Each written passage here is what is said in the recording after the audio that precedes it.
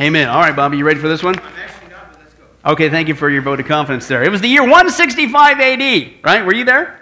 Thank you. I'm glad you said that. I have to talk to you later if you didn't. 165 AD, and this man's crime was he refused, listen, his crime, he refused to deny Jesus Christ and accept somebody else as Lord. So guess what? He was sentenced to die. And as he entered the stadium, the proconsul said to him, Repent and swear by the genius of Caesar, and I'll release you. To which this man replied, Kid you not, for 86 years I have been his servant, and he has done me no wrong. How can I blaspheme my king who saved me? If you vainly suppose that I will swear by the genius of Caesar as you request, and you pretend not to know who I am, listen to this guy, he's got spunk. Then listen carefully. I am a Christian. Now, if you want to learn the doctrine of Christianity, uh, name a day and give me a hearing. so the proconsul continues, I have wild beasts, I'll throw you to them unless you change your mind. But this man replied, Call for him. For repentance from the better uh, to worst is a change that's impossible for us Christians. So now the guy's anger, the proconsul, he says, I'll have you consumed by fire since you despise the wild beast unless you change your mind.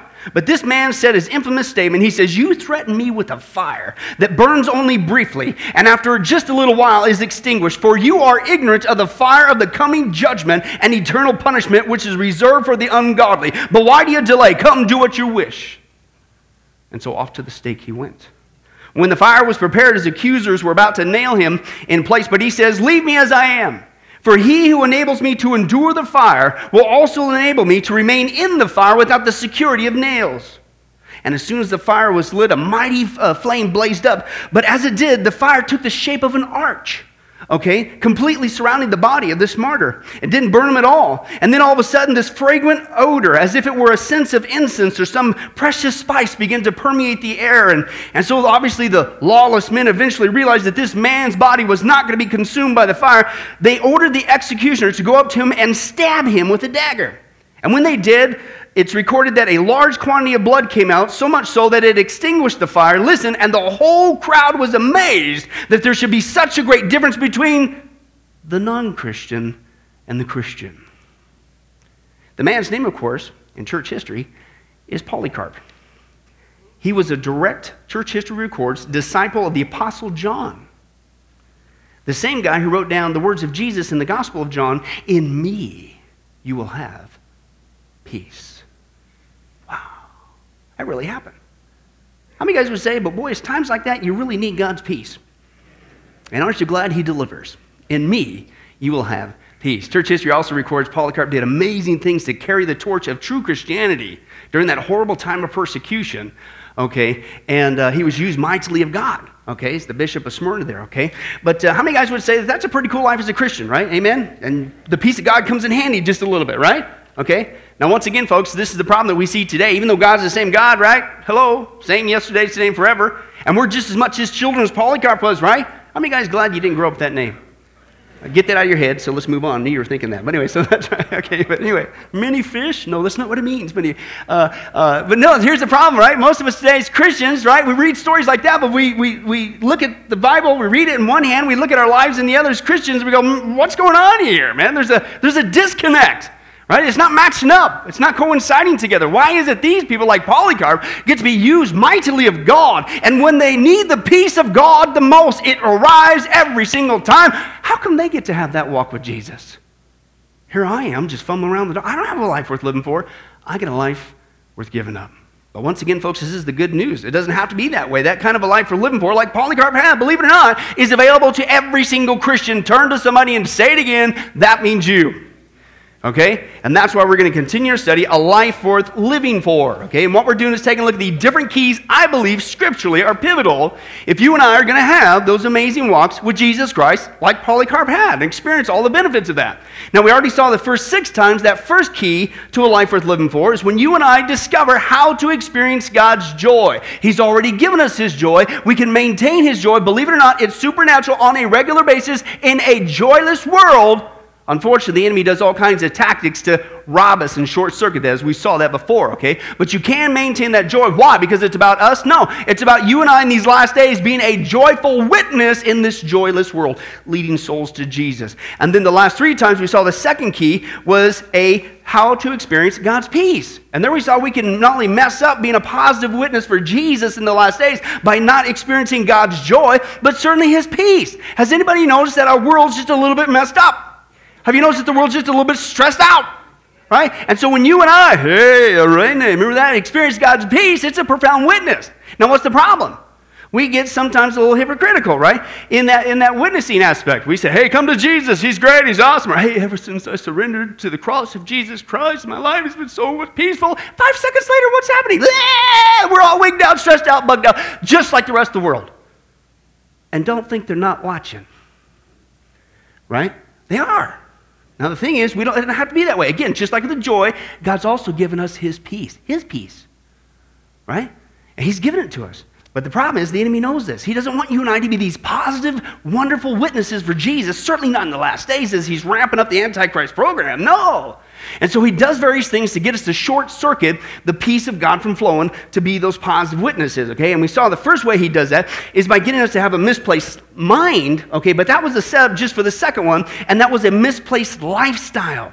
As we saw before, it's a two bang punch. First, he gets us to listen to this music that we put in our ears to get us to think about all the wrong things to keep the peace of God from flowing. Remember the scripture, Philippians 4? Think about that which is right, excellent, praiseworthy, trustworthy, admirable, and true. What? Then what's going to happen? Peace of God's all over the place. So we hijack your mind, first of all, with the ears, with the music, to get you to think about junky things so you feel junky, okay? But also with the media, with your eyes. Now, that was all a setup we saw last time for the next thing. And the next thing was, he comes into you after you're all frazzled out now as a Christian. You don't have to be, but you've been ingesting all this stuff to freak you out. Ah! And then he says, Hey, I noticed you're a little stressed lately, Christian. I wonder why. Music, media, music, media. Here's your panacea. Here's what you need to get that peace back. You need to buy stuff, right? You need things in your life.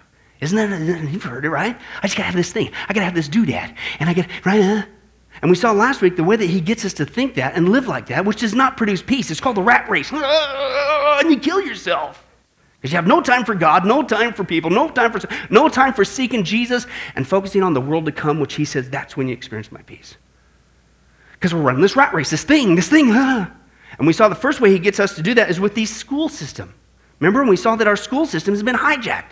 The Bible says in our schools, and Brian, you were talking about that this morning in the, your Book of Romans study, our country used to promote that, that the purpose of an education is to show yourself approved unto God. Not anymore.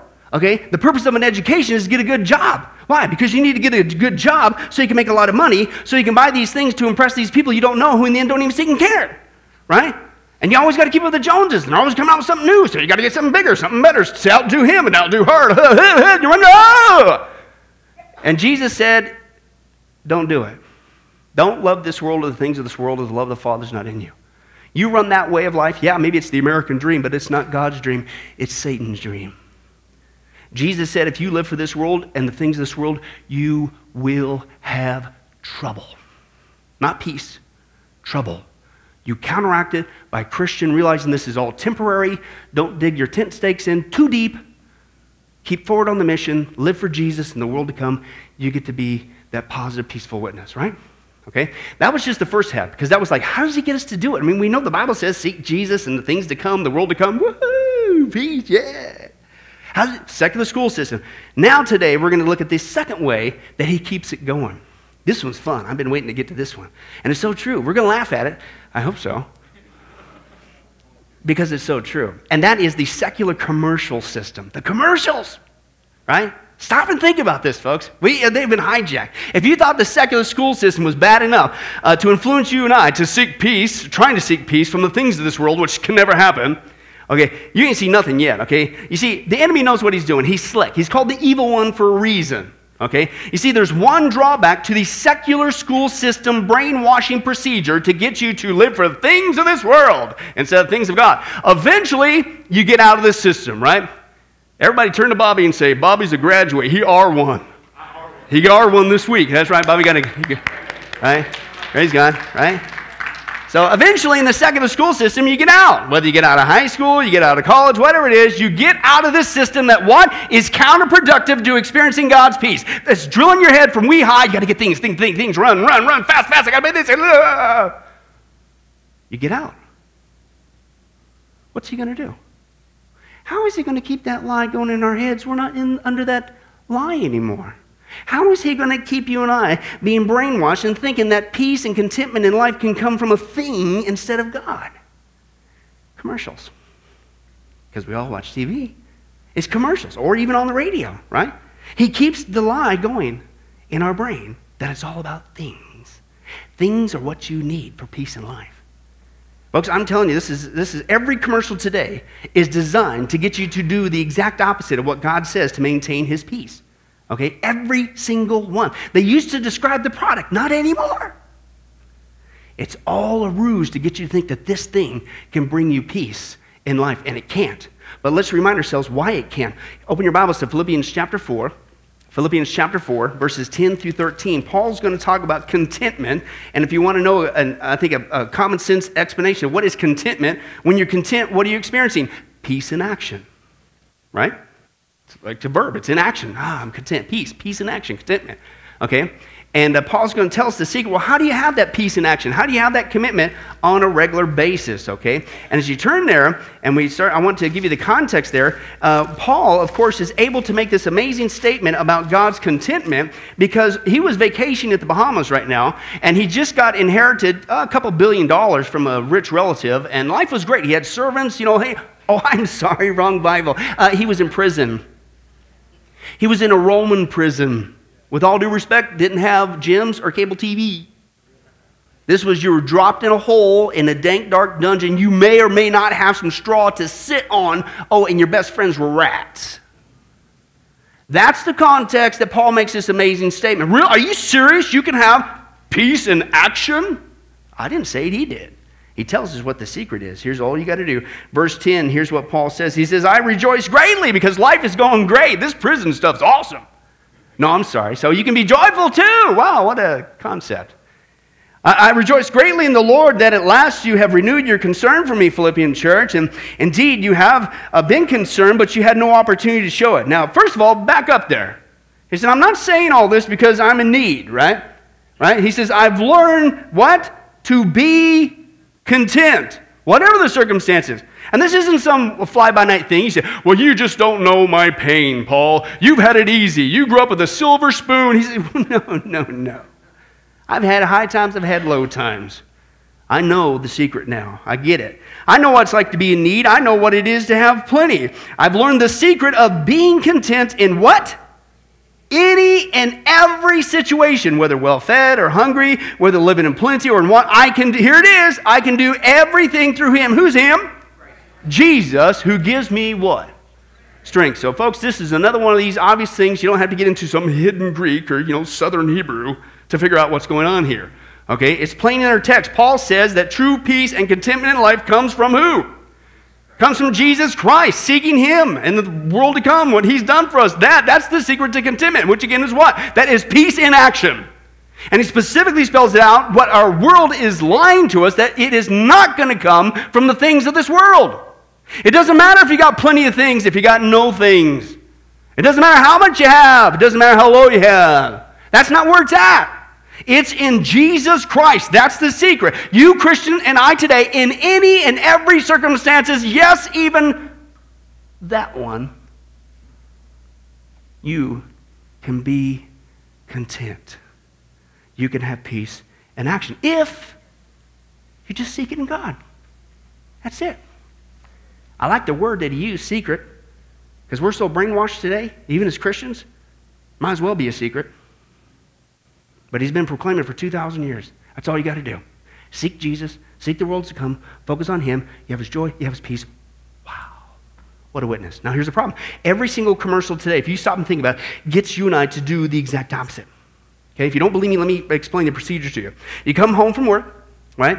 You make the unfortunate mistake, maybe you've turned on that TV, Now, prior to that, you were feeling pretty good in life as a Christian, right? You had a great time with the Lord. You put the things of the Lord in your mind all throughout the day, whether it be His Word or godly Christian worship, music, media, all your ears. You're focusing on Him. You're having a great time all the way throughout the day, okay? And you were experiencing His joy. You were experiencing His peace. But all of a sudden, you flipped on that TV, and once the very first commercial hit the screen, what did that commercial say to you? Bill?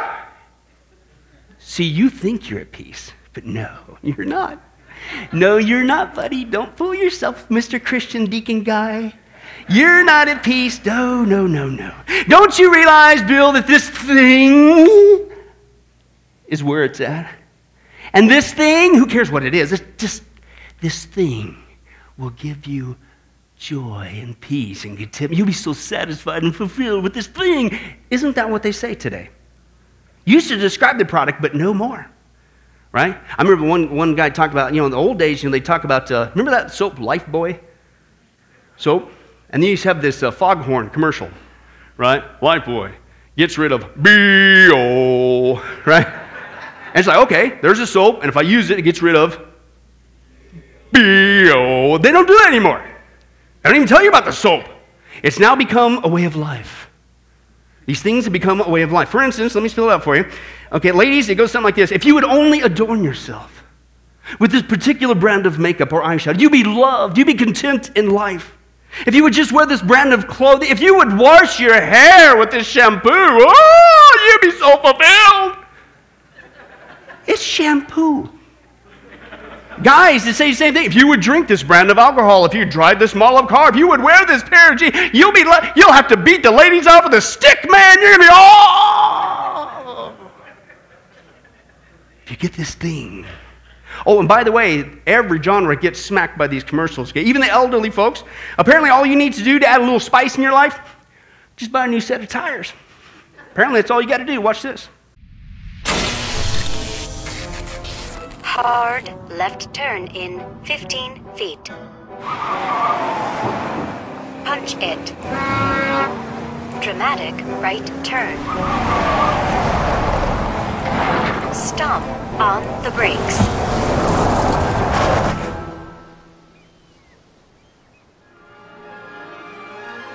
For drivers who want to get the most out of their cars, it's Bridgestone or nothing.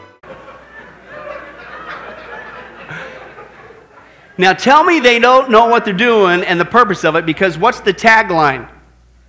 Passion for excellence. Now you guys seem to be hip, you know, cool, got your thinking caps on. What in the world did that have to do with a set of tires? Did it even mention the tires? Did it mention the price of the tires? And for that's right, you discerning Christians, you guys, did it even describe the treadwear and the benefits of that in the No. It gave you and I the impression that what? A, that's right, a stupid set of tires can add spice to your life. Uh, just get a set of tires. And this is why, folks, I'm telling you, the commercials today have been deliberately hijacked to get you and I to buy into this lie, okay? And here's the crux of the study, and we're going to continue on. Here's the lie a material thing can somehow gratify your spiritual need. That's the lie. A material thing can somehow gratify your spiritual need. You know, like peace and joy and contentment from God. That's the lie. Okay? The commercials today have been deliberately hijacked, I believe, by the evil one to get us to buy into this lie, folks. Okay? And here's my point. We can laugh about this, but this has been going on for years. Okay? Uh, even as far back as the 60s and 70s, they started, you know, it used to be, oh, no, okay, they started to change it and become a way of life, a philosophy with this thing, okay? It's materialism, okay? To think that things can give us peace, okay? In fact, it's so bad, folks, that we're told now today that this thing, right? It's a, now it's a group thing, right? That this thing not only could give you peace in life if you just buy this thing, right? But if you buy this thing and if we all bought it in mass somehow, it could bring peace to the whole planet. Whoa. How many of you guys remember this commercial? I'd like to buy the world a home and furnish it with love. Grow apple trees and honey bees and snow white turtle doves.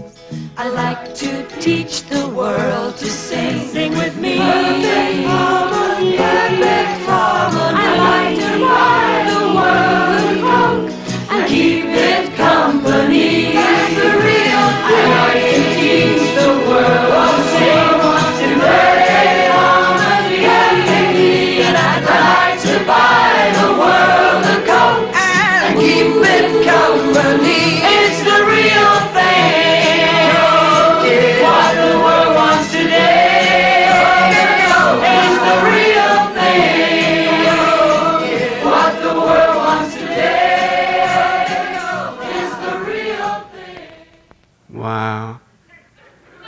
I don't know about you guys, but I, I just, I'm just, I can't believe this. I hope they play this over and over all day today on the news. This is incredible.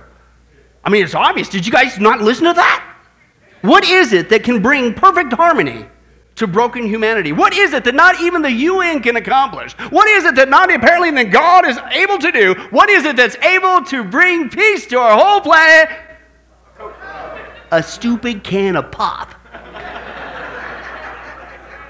Didn't tell you even what it tasted like. Didn't tell you how much. Didn't tell you nothing. But if you buy the, oh, unless you doubt, it's the real thing. That's right. But that's not all. They, they, they're very tricky. They're very emotionally seductive, too, in this brainwashing procedure. This thing can gratify your spirit. What they do is they, you'll be sitting there, you'll be doing just fine, right? Okay? Maybe you haven't got impacted too much by the commercials yet into this lie, and you're still at peace, right? You're feeling pretty good. And then all of a sudden, what they do is they will play a commercial that robs you of your peace, and then you better do what the commercial says to get your piece back. Watch, watch this, okay? It works apparently very effectively. Let's watch. I know how to sit, how to fetch, and how to roll over. What I don't know is how I ended up in here. But I know that I am a good dog, and I just want to go home. When you buy Pedigree, we make a donation to help shelter dogs find loving homes. The Pedigree Adoption Drive. Help us help dogs. Okay, I will, man. I promise I will. I will. I was feeling great before I watched that. No, dog, just see his little nose coming out of the deal. And if I buy that dog food, I'm going to bring I'm going to help the dog. I'll do it. I promise. I'll do it. I'll do it right now. What, what even kind of flavor of dog food was it? How much did it cost? What was the way? Am I getting a good buy? Nothing. You want that piece back, Jenny? You better buy that dog food. Right? They steal it from you, and then here's the deal, okay? You got guilted into it, okay? But that's not all. Probably one of the most effective ones uh, that they do is uh, what I'm about to show you, okay? Now, we all joke about this, right? When we run from materialism and things and the rat race, and we go crazy and ha ha, we run like rats, rat race, rat, rat, rat, rat. See, in the, in the past, they used to kind of hide that because that's what they're getting us into this frat frenzy. And we don't experience God's peace. But now, today, they don't even hide it. They admitted that they've got us into this crazy rat race. We're running like a bunch of rats. And the commercials today, they don't hide it. In fact, they make fun of it. In fact, they say, hey, listen, you're all going to be a rat anyway because you're all falling for this lie. You might as well be the coolest rat on the block. What's this?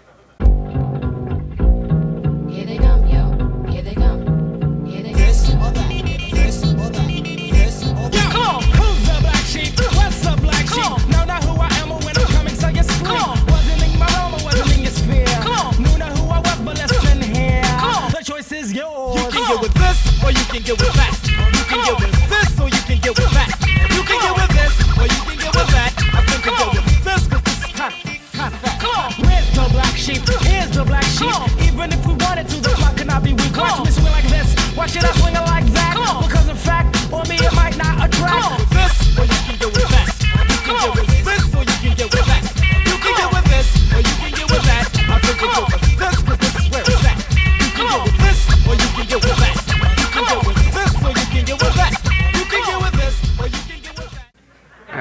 yeah.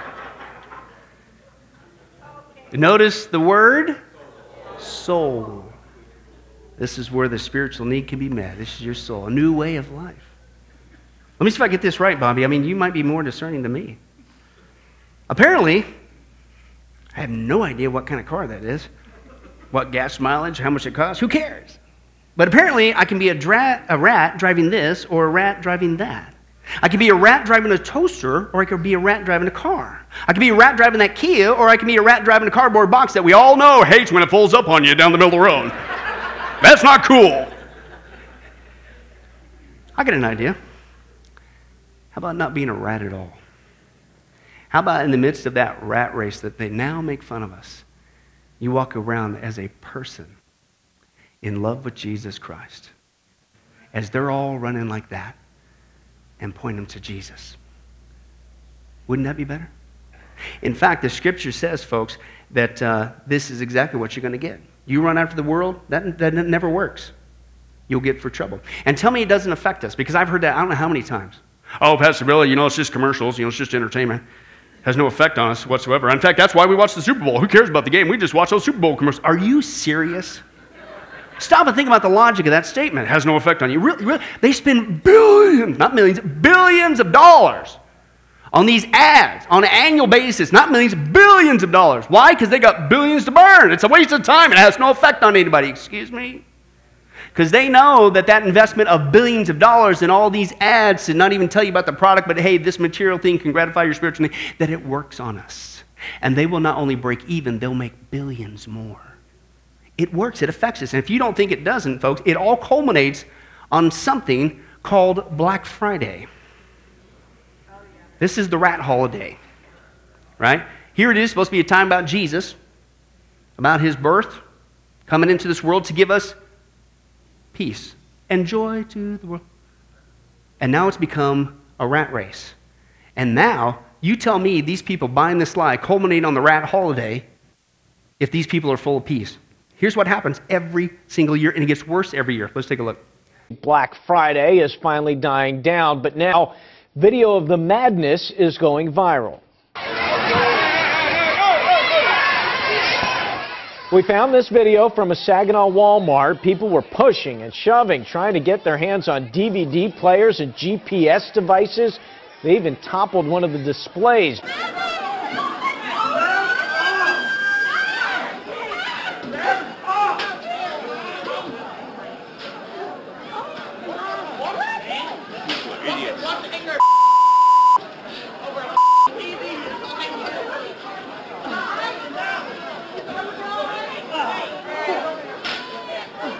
Black Friday shopping off to a painful start for shoppers at a Los Angeles area Walmart. Police say that a woman sprayed fellow shoppers. This actually happened with pepper spray in the packed store.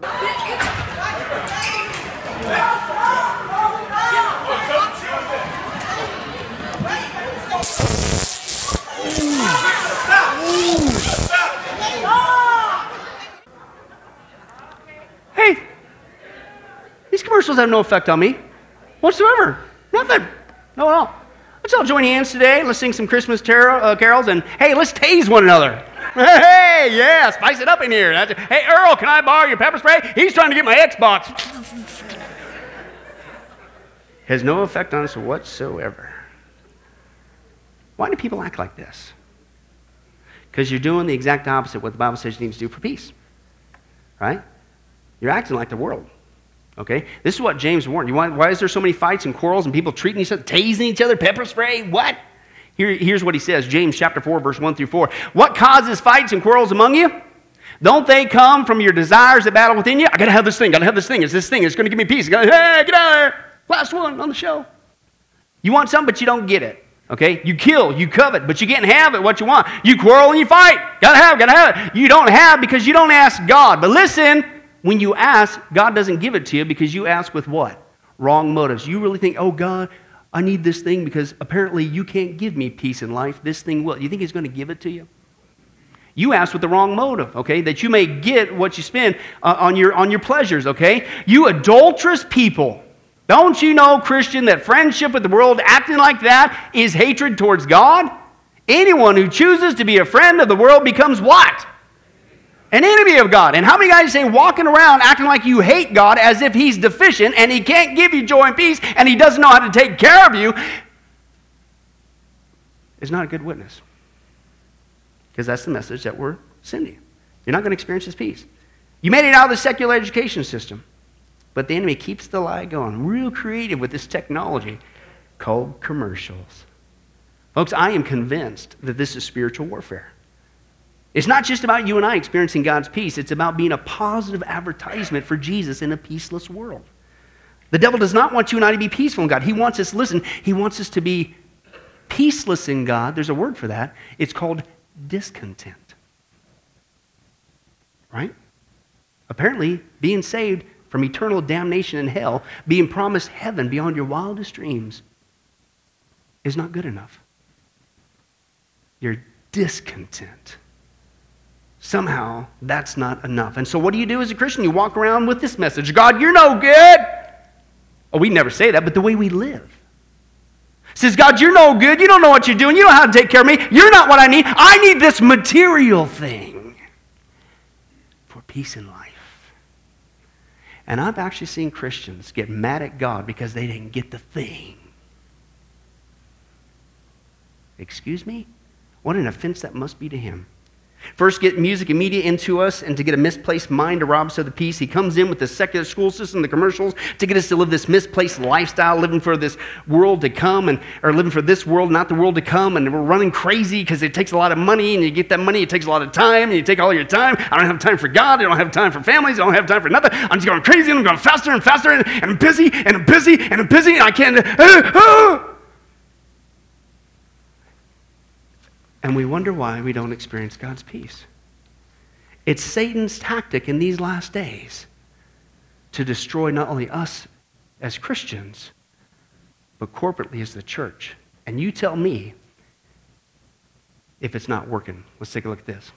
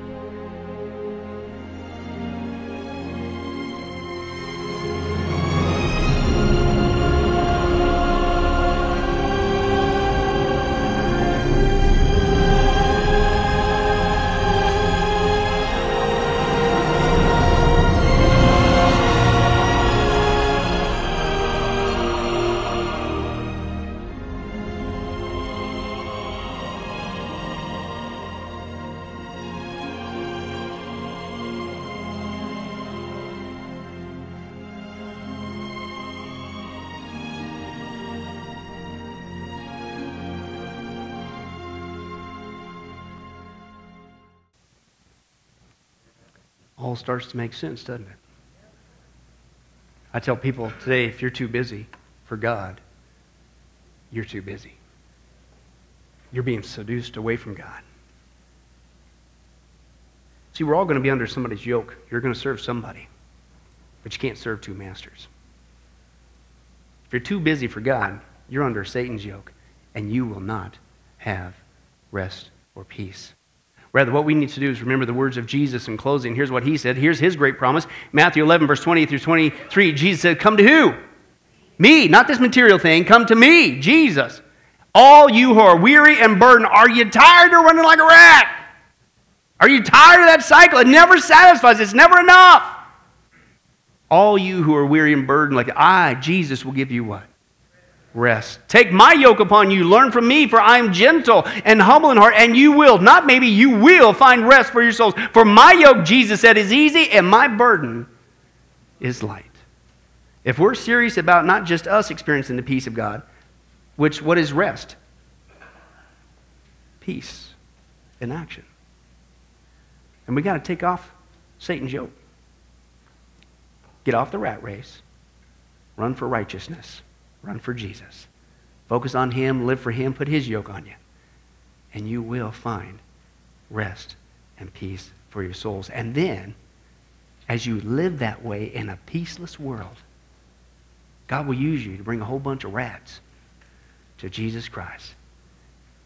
And turn to somebody and say, Hey, I used to be a rat, but I'm not anymore.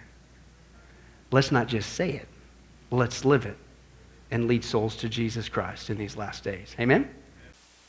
Well, hi, this is Pastor Billy Crone of Sunrise Baptist Church and Get a Life Ministries, and I hope you enjoyed today's study. But in closing, before you go, let me ask you one final question. If you were to die today, are you sure that you go to heaven and not hell? You see, here's the problem. The Bible says that nobody automatically gets to go to heaven, and that's because God is holy and we are not.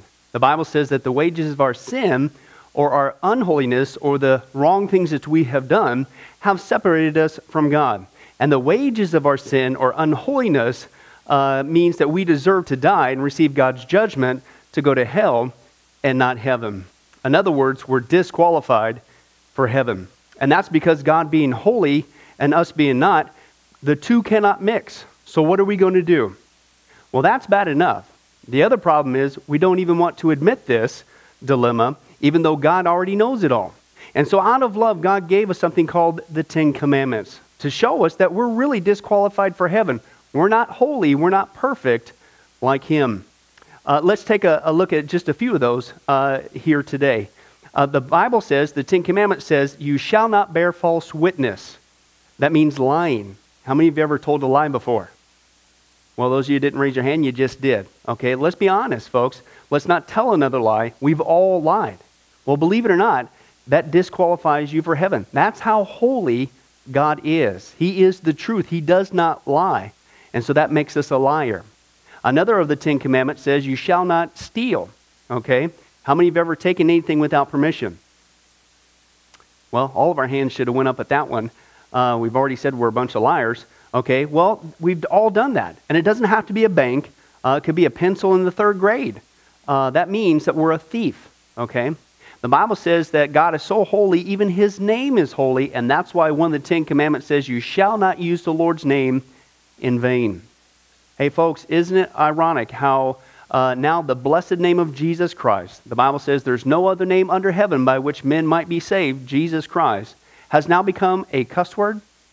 Folks, the Bible says that's the sin of blasphemy. Okay?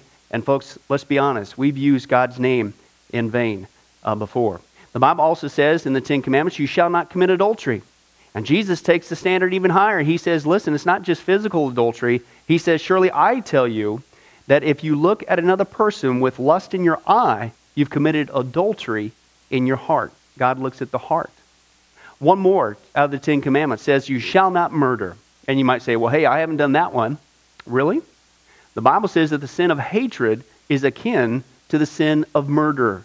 You, in other words, in your heart, wish they were dead. You pulled the trigger, if you will, in your own heart.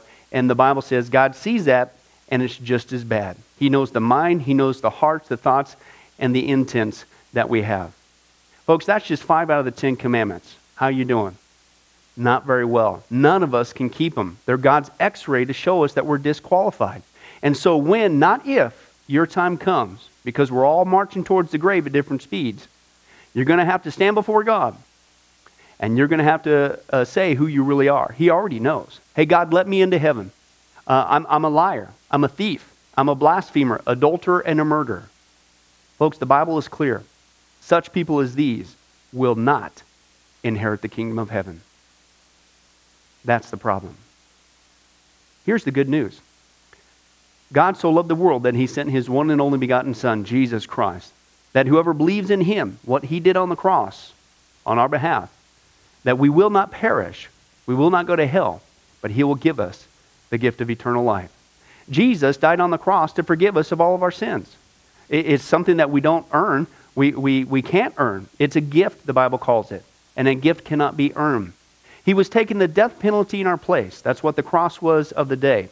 And that if we would just ask Jesus Christ to forgive us of our sins and believe that in our heart that God raised him from the grave, showing that his death is satisfactory to God to forgive us of all of our sins, no matter what we've done, the Bible says we shall be saved. Uh, the Apostle Paul says that if we confess with our mouth Jesus is Lord and believe in our heart that God raised him from the grave, we will be saved. Let me give you a common analogy of what God's doing and what he did for us with Jesus dying on the cross on our behalf. Uh, in life, we know that people uh, can be sentenced for a crime uh, to where they're actually on death row. Uh, the courtroom scene has completely finished. The gavel has already sounded. Uh, they are going to jail and they're just awaiting their time before they go to the death penalty. Uh, as they're sitting there in the jail cell, it, it's a proven fact they did what they did. Everybody knows it. They're just waiting for that time for their number to come up, so to speak and walk down that hall and be executed. Uh, there's nothing they could do to reverse their crime. No amount of good works in that jail cell can reverse what they've done. It's too late, it's over. But believe it or not, there's one way that people, even today, can get off a of death row. And that's if the one in authority, the governor, if he were to, out of mercy and kindness, nothing that the person did, because they don't earn it and they don't deserve it, and they can't earn it if he would grant them what's called a pardon. Out of the kindness of his heart, he has the authority to grant them a pardon and absolve them completely of their crimes uh, against the state. And did you know that there's actually been people that this has happened to, that the governor, out of mercy, has granted them a pardon as a gift, and they've gone down to the jail cell and handed that person, extended it through the bars, here, I'm granting you a pardon. If you would just receive it, you can go free right now. And did you know that there's actually been people who've said, No, I don't want your pardon? And so what happened is of their own doing, even though they had a way out, they still had to go to the death penalty. Folks, can I tell you something? That's what God did for us with Jesus dying on the cross. He sent his son to take the death penalty in our place. He, God, has the authority to grant us through Jesus a complete pardon. And every day that you're still alive, God is extending to you spiritually this pardon. But a pardon does you no good unless you reach out and receive it by faith. Won't you do that today? Won't you call upon the name of Jesus Christ? Ask Him to forgive you of all of your sins, to trust in His work on the cross to pardon us from all of our crimes, our sins against God. God loves you. He wants a relationship with you. But there's only one way to heaven it's Jesus. There's only one way to get off a death row it's through the cross of Jesus Christ. Won't you do that right now? Well, this has been Pastor Billy Crone of Sunrise Baptist Church and, and Get a Life Ministries. And if there's anything that we can do for you, uh, please don't hesitate uh, to contact us. Uh, our number, our information will uh, come up here on the screen shortly.